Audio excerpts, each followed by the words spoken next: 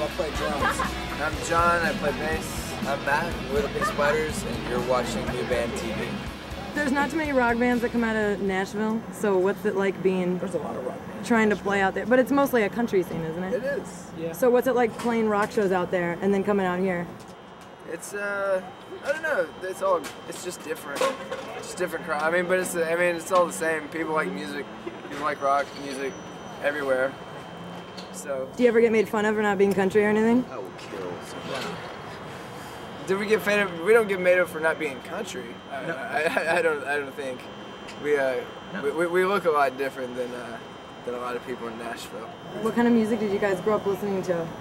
Good music. Whatever they play in the Gap or the Converse store or Or the leather Target jacket store. or the leather jacket store. That's not what. the Yeah, question that, is. that, that's not a question.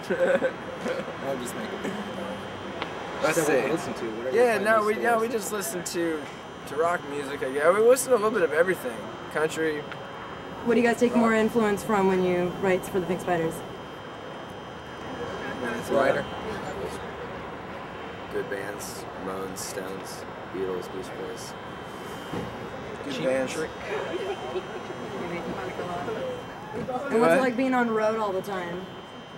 Yeah, Juicy. It's juicy. it's Trying to ask. slippery.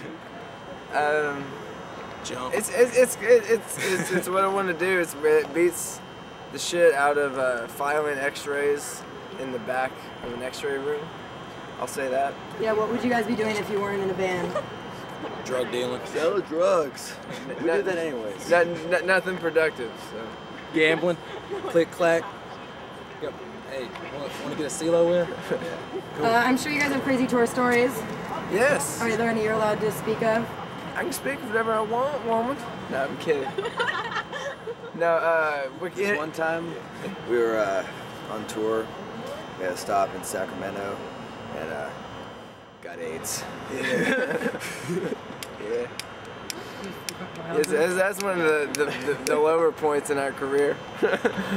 Last month. We got AIDS. But we're rich enough, and we got rid of it. Yeah. We bought the Magic Johnson cure. Swish. Started smoking. Kobe. Back to smoking. Or ma- magic. Out of all the bands that you guys have toured with, what's the most fun tour that you guys have been on? Uh, the, Wow. the most the most fun was yeah. Megan D. Well, I got five answers at once. Oh. It's all the same band. It was the same it tour. Was, it, was, it was Sugarcult, Megan Dia, Damone, and yours truly. And All Time Low were fun too. Oh yeah, All Time Low was on there for a couple and the days Adored was there too. It was a lot of bands coming in and out. But we got to we got to see them all. Yeah, it was a good time. Good Charlotte was fun too. Yeah, Good Charlotte was really fun. But I'd have to say that the last tour we were just on was the funnest that we've ever done. Okay, and last but not least, what do you guys have any uh, suggestions for new bands that are trying to get out there? Like, how did you guys Tour. get your name out there? Quit. Quit. Quit. Yeah, it's is yeah, it's your Who od- cares your about odds your are goddamn feelings. it's it's the odds of doing this and being able to do it are about one and two quadrillion. So I wouldn't do it if I wasn't so good.